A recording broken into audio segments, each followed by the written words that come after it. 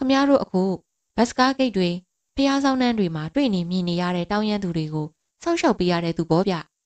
ကျုပ်တို့အလုပ်ကိုလူတည်နေပါတယ်တကယ်လဲတိသူတော်တော်ကိုနေတာပါ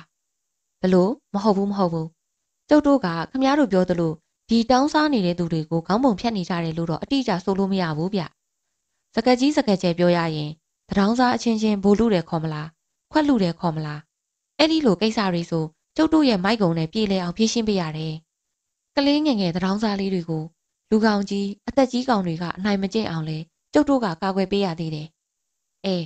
နေမြေတစ်ခုထဲမှာရှိတဲ့နဲ့တထောင်းစားအရေးအတွက်ကိုလည်းကျုပ်တို့ကထိန်းချုပ်ပေးရသေးတယ်ဒါမှသူ့စီးပွားကိုယ်စီးပွားအဆင်ပြေမှာပေါ့အားဗျာဘသူကတော့စေတနာနဲ့ဒီကိစ္စတွေလိုက်လို့မတော့အဲ့ဒီအတွက်သူတို့ကကျုပ်တို့ကိုတရက်ဘလောက်ဆိုပြီးရာဂိုင်နှုံးနဲ့ပေးရတယ်